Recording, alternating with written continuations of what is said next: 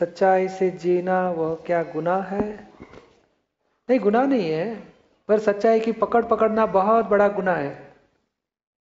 सच्चाई में जियो, उसकी कोई हरकत नहीं, पर सत्य का आग्रह हो गया तो फिर गधे का पूछ पकड़ा तो मार खा के मरोगे। सत्य सत्य सत्य सत्य जो आप मानते हो, वो आपका व्यू पॉइंट है। दूसरे के लिए असत्य भी हो सकता है। आपका व्यू पॉइंट दूसरे के लिए असत्य भी क्योंकि सत्य और असत्य रिलेटिव है। और सत तीसरा शब्द है, वो इटरनल त्रिकाल सत्य है। अभी आप जो मानते हो कि सत्य से जीना, उसमें कोई गलत नहीं है। क्या तो, पूछना चाहते हो आगे? पर सत्य सत्य से जीते हैं तो दुनिया में मारी खाते हैं। हर हर लोग अपने फंसा के जाते हैं भैया। हाँ तो सत्य की नॉर्मलिटी रखो सत्य की नॉर्मलिटी तो कैसे रखे? जब उसकी मैं बताऊँ नॉर्मलिटी बताऊँ आपको। हम हम देखते हैं कि झूठा है तो उसको हम सत्य कैसे बोले भाई नहीं देखो सत्य का चार चार इक्वेशन चार मल्टीप्लीकेशन होना चाहिए। फ़र्स्ट सत्य होना चाहिए। दूसरा हितकारी होना चाहिए। तीसरा प्रिय होना चाहिए। चौथा मित यानी शॉर्ट में होना चाहिए। आप अपनी मम्मी को बोलो तू तो मेरी वाइफ पप्पा की वाइफ हो ना।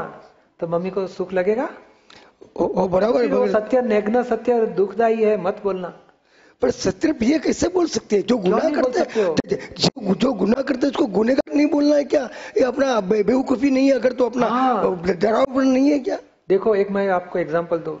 एक आदमी किसी के पॉकेट में से चोरी करता है तो दो मिनट के बाद उसको पश्चाताप हो सकता है कि नहीं? हो सकता है ऐसे होगा एक आदमी बच्चे के ऊपर क्रोध करता है थोड़ी देर के बाद बच्चे के लिए उसको प्रेम है तो बाद में पश्चाताप होएगा। हो सकता है कि नहीं हो सकता है? हो सकता तो है। दो बात हो गया कि नहीं?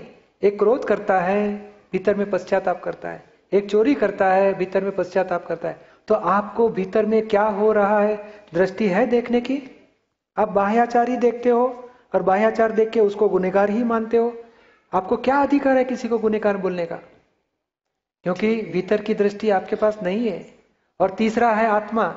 एक प्रकृति गुना कर रही है भीतर में खुद पश्चाताप लेता है और उसका आत्मा तो शुद्ध ही शुद्ध है।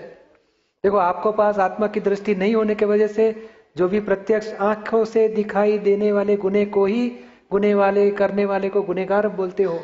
और वो सबसे बड़ी भ्रांति है। तीर्थंकर भगवान ने ज्ञानी भगवंतों ने जग, जगत को निर्दोष देखा है। खून करने वाले को भी निर्दोष देखा है। तो उनके पास कौन सी दृष्टि होगी? और अपनी दृष्टि कैसी है कि सभी को गुनेगार देखते हैं? है दृष्टि बदलने की ज़रूरत है। पीला चश्मा है तो पीला ही दुनिया दिखेगी। दृष्टि वैसी सृष्टि। और आपकी निर्दोष दृष्टि हो गई शुद्ध दृष्टि हो गई तो आपको जगत निर्दोष दिखेगा। मतलब यहाँ आप वो निर्दोष दृष्टि लेके जाओ शुद्ध दृष्टि लेके जाओ तो आपको जगत में कोई गुनेगार दिखेगा ही नहीं।